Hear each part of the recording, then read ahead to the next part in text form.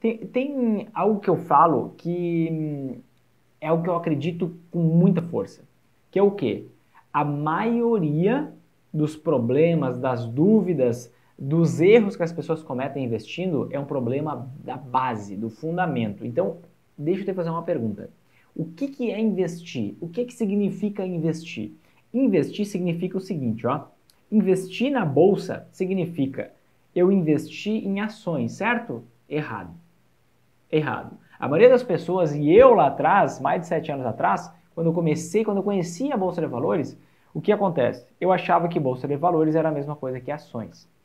Por que, que todo mundo tem ansiedade na hora de, de, de começar a investir? Porque pensa em investir somente em ações.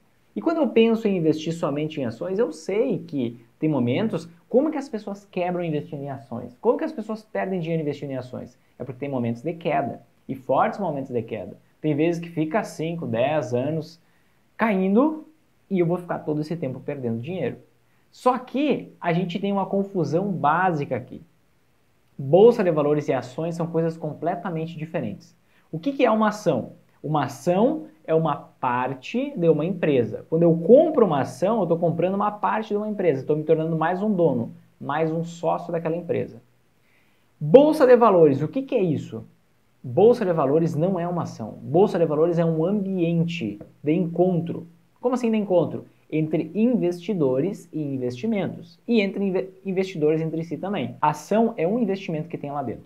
Por que, que a gente fica nessa ansiedade? Poxa, quando que eu invisto? Quando eu começo? Será que é agora? Será que não é? A gente fica nessa dúvida justamente por causa dessa confusão aqui. Da gente achar que bolsa e ações é a mesma coisa. Só que não é.